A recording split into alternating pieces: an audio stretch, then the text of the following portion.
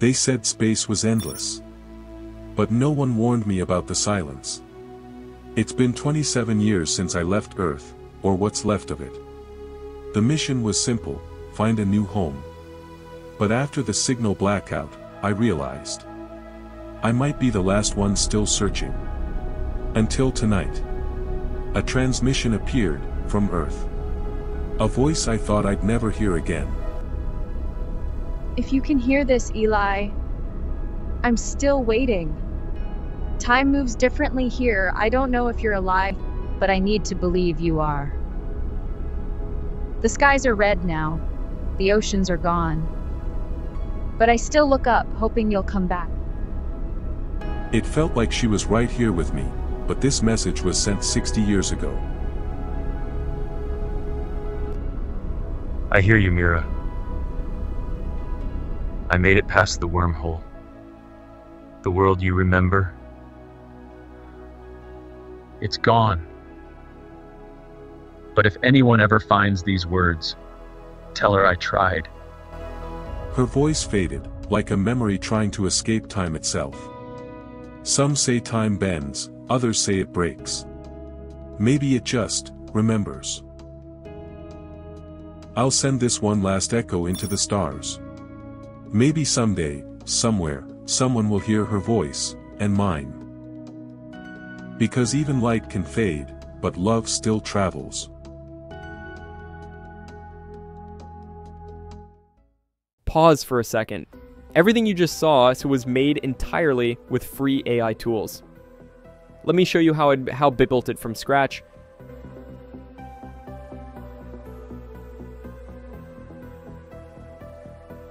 Let's start with the first tool, Meta AI. Just type Meta AI on Google, click the first link, and sign in. It's completely free. No credit card, no nonsense. And this tool is wild. Scroll down, and you'll see what other users are creating. Looks insane, right? You could start typing prompts right here, but that's not what pros do. Instead, click this Create button, it opens a new studio panel with full control. Aspect ratio, image or video, style, everything.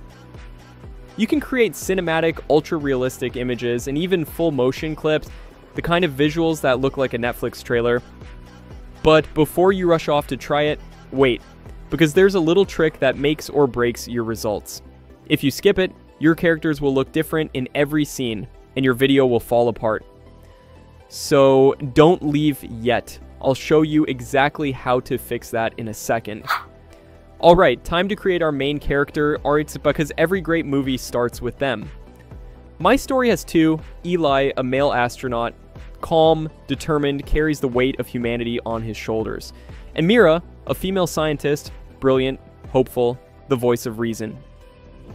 You can write your prompts using ChatGPT, Gemini, or any AI you like. I entered my first prompt, set aspect ratio to 16 to 9, hit generate, and just look at that.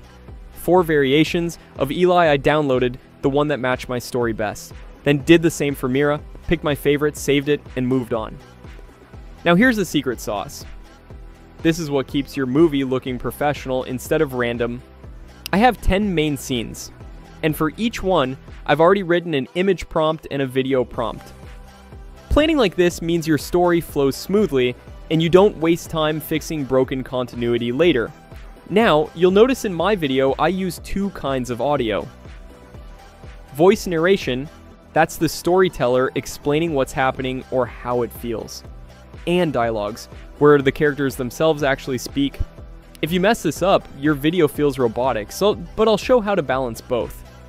Alright, now the part most people get wrong, um, consistent characters. Look at my third scene. Our astronaut Eli appears again. If I generate him from scratch, Meta AI will give me a completely different guy. Different face, different lighting, sometimes even different race. So here's the trick, that you upload the Eli image you already made and then enter the new scene's prompt. When you upload an image, the aspect ratio automatically locks. That's totally fine. And if it looks off, just hit regenerate. It's free. Seriously, don't settle for the first one. That's how you keep your characters consistent from start to finish. Now here's where it gets really interesting, and where most beginners mess up without realizing it. Scenes 4 and 6 are different. These are dialogue scenes, where our characters actually talk. So we're not just making images here, we're preparing them for lip sync animations, and if you don't prepare the images right now, you'll have to redo everything later. So here's what you do. Make sure the character faces forward, eyes open, and lighting is clean. No weird side angles, no dramatic shadows. That's how you make perfect lip sync shots later. I did that for Mira in scene 4 and Eli in scene 6. Just two clean portraits that look cinematic and alive. Now, I've generated all 10 images, one for each scene. Each one tells a part of the story, and together they look like real movie frames. And in the next part, I'm going to show you how I turn them into animated movie scenes, the part where everything comes alive. Now that we've got all our scenes ready, it's time to bring them alive.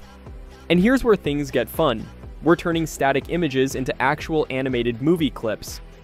You can directly animate an image by clicking Animate, but the AI moves things randomly. That's why I always click Custom Animate. It opens a new tab where I can type exactly how I want the movement to look. Simple example, slow cinematic pan across a small spacecraft drifting through deep space. Then I hit animate, wait a few seconds, and boom. My 5 second clip is ready. Now 5 seconds isn't enough, so I click the video, hit extend, and after a few seconds, I get a smooth 9 second version. Pretty amazing, right?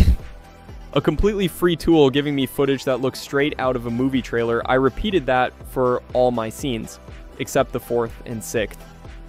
Those are dialogue scenes, and we're saving them for lip sync later. For now, I just downloaded them as still images, so now we've got 8 short video clips, all around 9 seconds long. And together, they already look like the skeleton of a short film. Next step, we need voices. For that, I'm using a free AI voiceover tool called Luvvoice.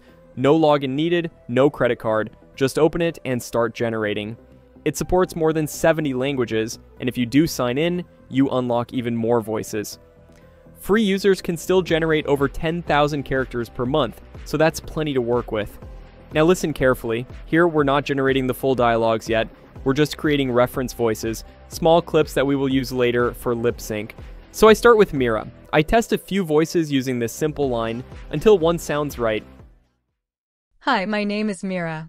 I'm a young woman in my early 30s. Nice to meet you.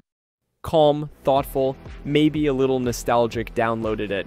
Then I do the same for Eli. Strong, grounded, confident. Once both voices are ready, I move on to narration, and that's the storytelling part between the dialogues. I paste all my narration text into Luvvoice and generate it in one go. It's faster, and when editing later, I'll split it scene by scene. After a few minutes, I have all my audio files two character voices, and the main narration. Now, we can finally move to the star of the show, Gaga AI. This is where our images start talking. Go to Gaga AI, sign in, and you'll automatically get 200 free coins.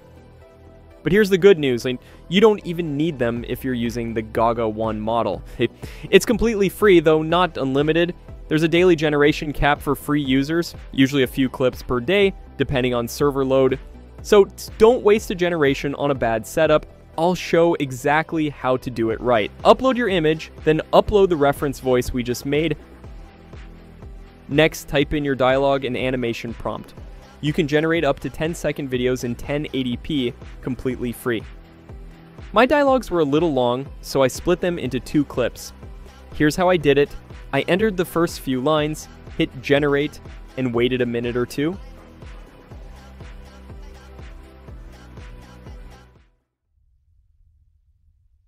If you can hear this, Eli, I'm still waiting.